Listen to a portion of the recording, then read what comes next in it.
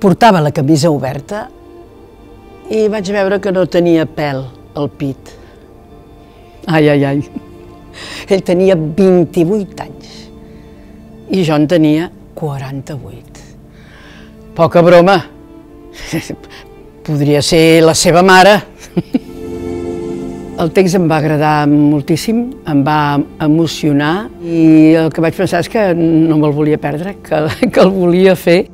Hi ha coses molt paral·leles amb el que ha patit la, la Rose. Encara que no sigui una guerra, és igual, hi ha situacions a la teva vida, no?, de, de conflictes, de, de patiment. Podem, podem entendre perfectament que s'hi sentirà en molts aspectes identificat.